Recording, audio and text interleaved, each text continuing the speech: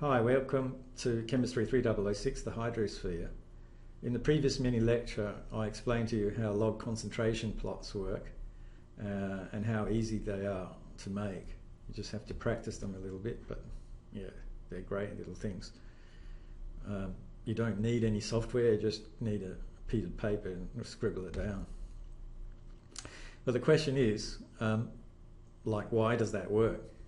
Why does the log concentration method work? Let's quickly go through that.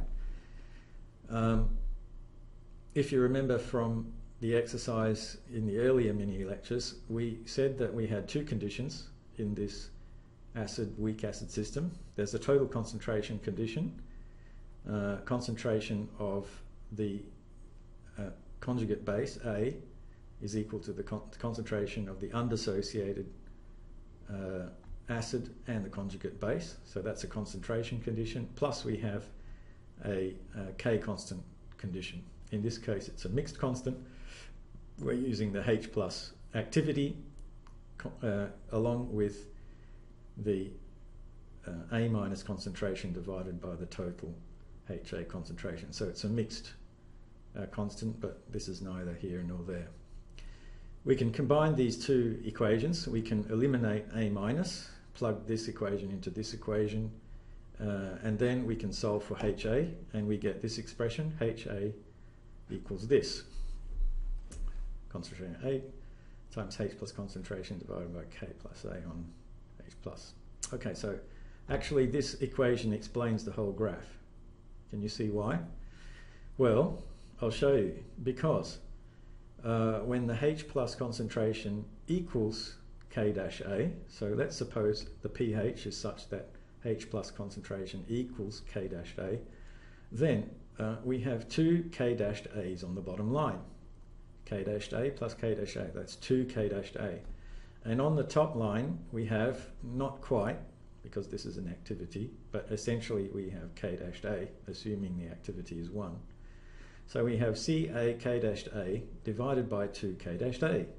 So we have Ca on 2.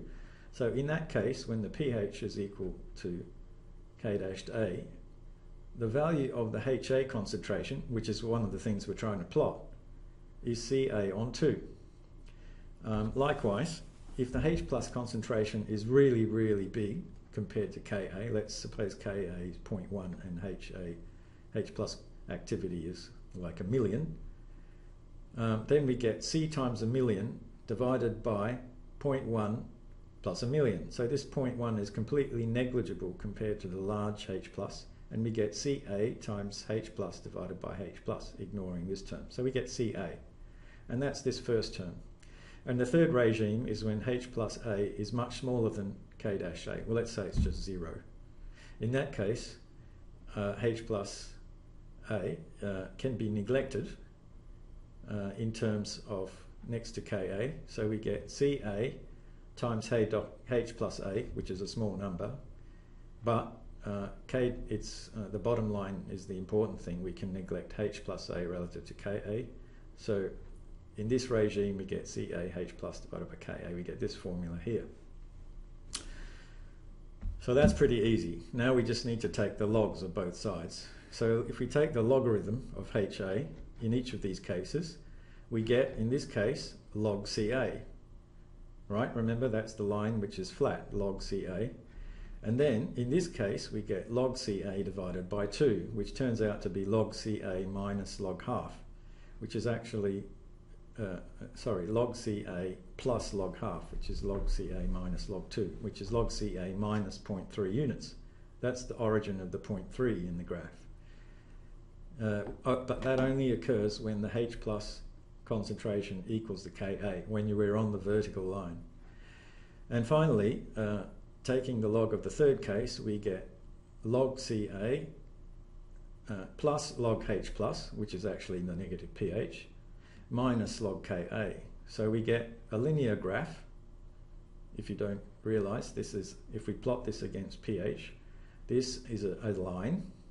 It is a line with slope minus 1 because we've got minus 1 pH and it's a line that goes through the point Ca minus 2 which lies 0.3 units below Ka on the vertical axis. So that's the meaning of this line here. So this formula here, which we get by eliminating these two a minus in this equation and taking logarithms, explains how we calculate the log pH concentration, log concentration, log pH graph. Now we do the same thing for HA minus. Uh, you can have a look at this. Eliminate, here the two equations. Eliminate HI, we get this formula here, which is very similar. Again, we get a situation like this, but somehow the two states are reversed. We have a Ca2 in the middle, as before. We take the logs and we kind of get a symmetric situation, which is why we have that inverted V uh, looking sort of symmetric and the way the concentrations are symmetric around the Ka line. That's it. That's the explanation. See you later.